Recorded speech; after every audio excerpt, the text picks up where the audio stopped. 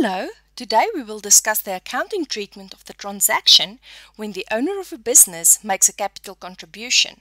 Firstly, we will determine whether the capital contribution is an asset, liability, or equity. Secondly, we will discuss the effect of the transaction on the accounting equation, determining the account debited and the account credited. Thirdly, we will show you the source document for this transaction. Fourthly, we will determine in what subsidiary journal this transaction should be recorded. And lastly, we will show you how to record this transaction. Hello, I am Mr. Sitole, a qualified electrician. I decided to start a small service entity called BS Electrical. After opening a business bank account, I am now ready to deposit 100,000 as capital contribution into the account to start my business. I am super excited. Starting my own business has been a dream for a few years and at last I can make it happen. My first order of business is to deposit money into the business bank account. To do that, I will log into my internet banking and set up the business as a new, bene new beneficiary on my personal account. The next step is to do an electronic funds transfer. I will transfer 100,000. Upon completion of the payment, I will receive an internet banking notice of payment from my bank via email. Mrs. S. Peterson, the newly appointed bookkeeper for my business, will issue me a receipt for the capital contribution.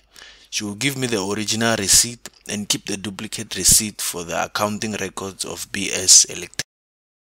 Equity can be defined as the amount of money or the value of the assets the owner of a business invested in the business.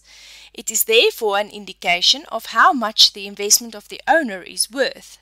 When you hear or read about the net worth of an owner, it is the value of the equity that they refer to. Equity can be calculated by adding the capital contribution of the owner and the income generated by the business together, and then deducting the drawings made by the owner and the expenses incurred by the business.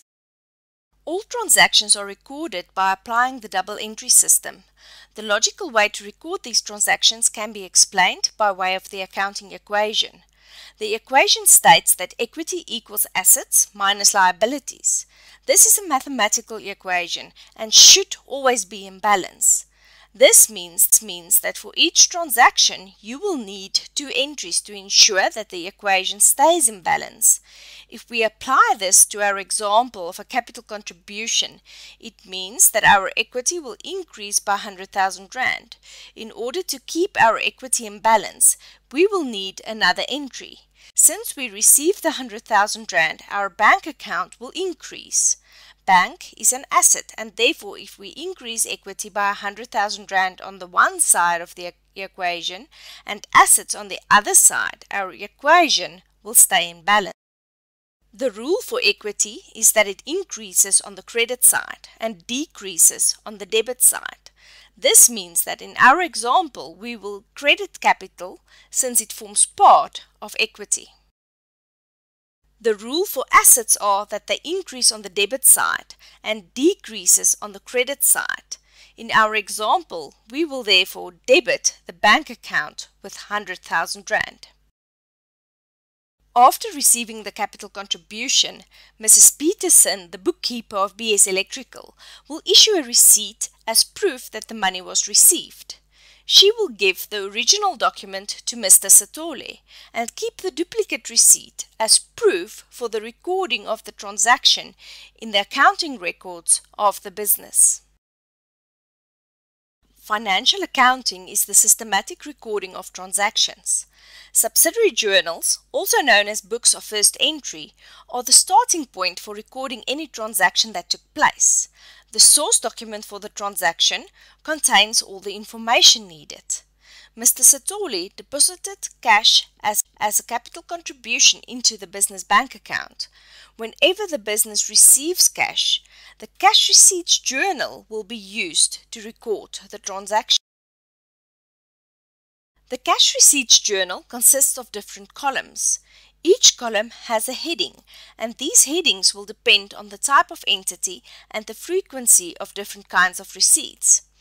All cash receipts journals will have a column for the document number, the day, details of the transaction, analysis, analysis of receipts, bank, and sundry accounts.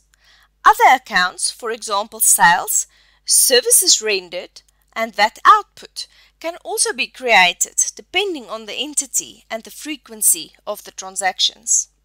All the information we need to complete the entry found on the duplicate receipt. Firstly, we enter the document number R0001 that can be found in the upper left corner of the receipt. According to the receipt, the date of the transaction was 2 January 2017. Therefore, we enter the day as the, the second. In the details column, we will enter the name of the person or business that made the payment. In this case, it was Mr. Sitole. The amount of money we received was 100,000 Rand, and we will first enter the amount in the analysis of receipts column, and then in the amount column under sundries, since we do not have a separate column for capital contributions. In the details column under sundries accounts, we will enter the name of the affected account, namely capital. At the end of the day, after all the receipts for that day were entered, we'll add all the amounts in the analysis of receipt column and only enter the total receipts for that day in the after watching this presentation, you should now know that capital can be classified as equity. When the capital contribution is made by way of a cash deposit, we will debit the bank account and credit the capital account. The business will issue a receipt when the money is received.